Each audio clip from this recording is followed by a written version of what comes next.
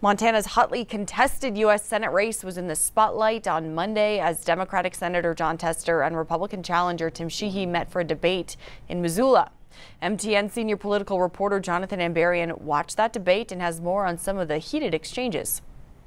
Tim Sheehy and Jon Tester last met for a debate in June, and when they got on the air on Monday night, they quickly began trading some sharp criticisms. Monday's debate in Missoula was presented on Montana PBS. In one early question, the two candidates sparred over abortion. I support the exceptions, rape, incest, life of the mother. I support uh, the, the right of a mother to make those challenges an incredibly challenging, you know, tumultuous time in their life.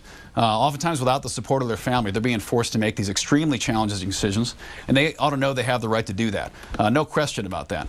But at some point, when there's a viable life, another viable life included, uh, that life also has the right to protection. The bottom line is this whose decision is it to be made? Is it the federal government's decision, the state government's decision, Tim Sheehy's decision, Jon Tester's decision? No. It's the woman's decision. Tim Sheehy has called abortion terrible and murder. That doesn't sound to me like he's supporting the woman to make that decision. Each candidate accused the other party of playing politics on immigration issues. Sheehy argued Democrats hadn't taken border issues seriously until recently, and Tester criticized Republicans for not backing a proposed border bill earlier this year. It needs to be passed, and it could have been passed six or eight months ago. But the bottom line is Tim Sheehy, before it was even released to read, said, nope, not going to support that because his party bosses told him that's what you need to do. That's not what Montana needs in Washington. Mr. Sheehy.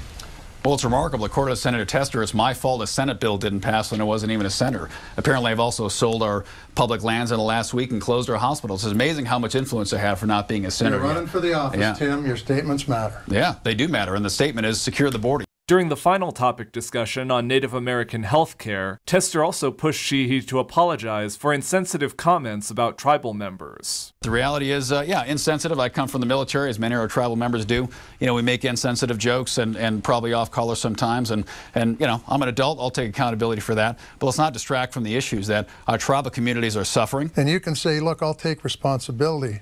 But, you know, apologies matter. And how you treat people matter.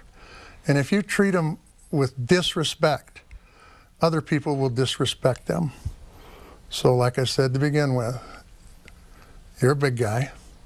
Just apologize. You apologize for opening the border? I didn't open the border.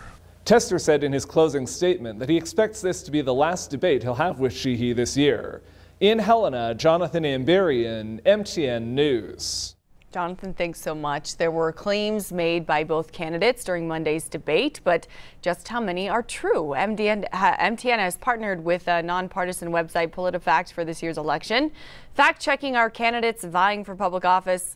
PolitiFact is operated by the nonprofit Poynter Institute. Chief correspondent Lou Jacobson listened closely and detected several statements that didn't add up. Both sides have really um, tried to get the other to have sort of a gotcha quote where they point to something that they said that doesn't really fit with the rest of what they've been saying in the cam- in the campaign, um, and try try to leverage that to its maximum force by kind of exaggerating uh, what that that sort of st- statement actually means. If you didn't get a chance to watch that debate, we've got you covered. MTN has partnered with PBS to bring you an encore presentation this coming Saturday from 7 to 8 p.m. right here on Q2. Make sure to join us as we wind down to the election. Uh, that, of course, November 6th.